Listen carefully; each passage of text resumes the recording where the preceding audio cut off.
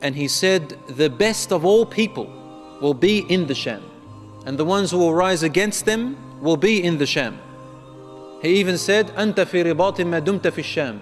You are in a in a in a um, you are standing guard as if you are in a war, standing guard until the last hour, so long as you are in the Sham, meaning the Sham will never cease from battles or from always standing guard, will always be at risk in a Sham.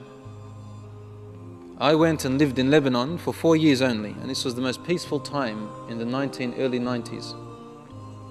And in that time, two potential wars happened. Potential. Two things happened over there that were potentially going to return back the civil war.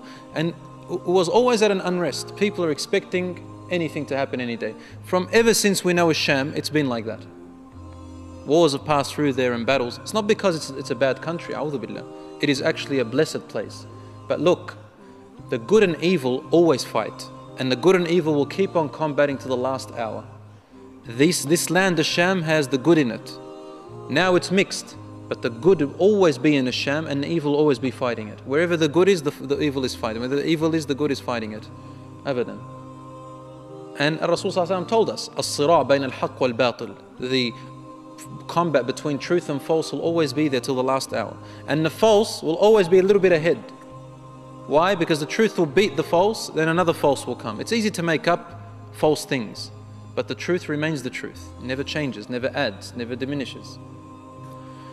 So in a sham, you're always in battle. And Rasulullah told us in those days the best of all believers will be in that place.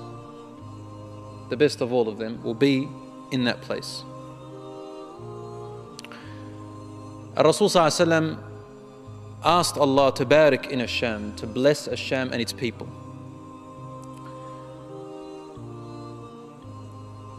And over there, my dear brothers and sisters in Islam, will be these battles. There will also be a group of people who are also in Nisham, and Rasulullah spoke about them in particular. And we don't know their names or their, their, their exact nationality, but we know where they're situated. Al Rasul told us in the Sahih Hadith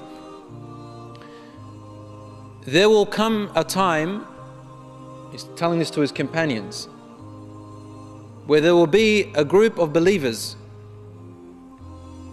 who will be on the truth. They will have learnt the Quran and the Sunnah of the Prophet ﷺ very well. They would have digested it and taught their children well. So they live the life of Islam, even though the odds are all against them from everywhere. But they live it, even if it's only a small amount of them. He said, The people will gather against them, and I will keep on fighting and protecting the symbols of Islam and the truth and justice.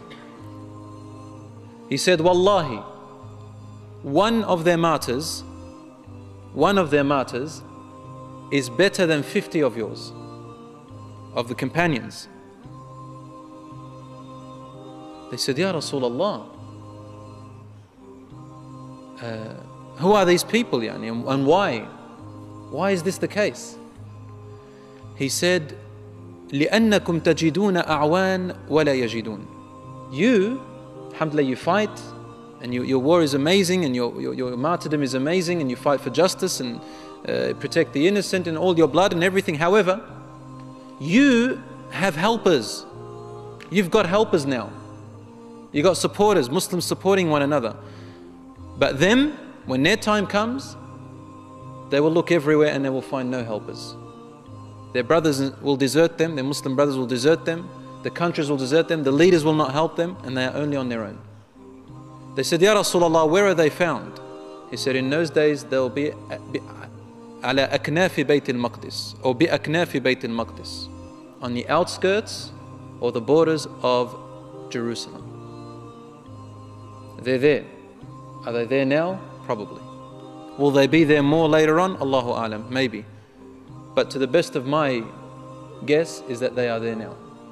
Now fighting, protecting.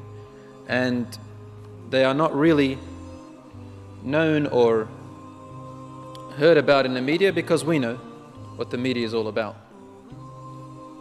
changing false into truth and truth into false as they suit, whoever's in power. So, this is what's going on in there, Rasul told us about. He even told us that truth is the false, and the false becomes the truth, and the leaders are the ones who betray, and the leaders are the ones who don't are not qualified. And the people who are placed in leadership and responsibility are the ones not qualified for the responsibility. The people who are qualified and the true leaders are put backwards, meaning they're put underneath these betrayers and these unqualified people. As he said, إذا وسدت الأمانة إلى غير أهلها فارتقب الساعة. Rasul said, when the trust or the responsibility is given to people who are not qualified for it, then wait for the last hour to come. Meaning, await for it. It's very soon. Very soon.